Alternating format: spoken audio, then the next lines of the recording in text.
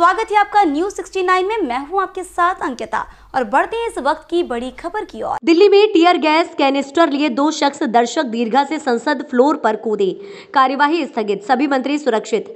संसद के अंदर दो लोग घुसे, कुछ बाहर भी थे। बड़ी चूक सुरक्षा में। यहाँ उन्हें लड़कों ने छोड़ा था धुआँ।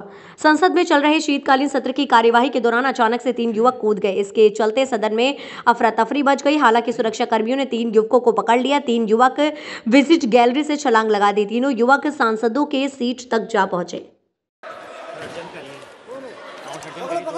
सभा की कार्यवाही दो बजे तक स्थगित की जाती है। इस खबर पर आपकी क्या है राय? हमें कमेंट सेक्शन में ज़रूर बताएँ। तब तक के लिए धन्यवाद।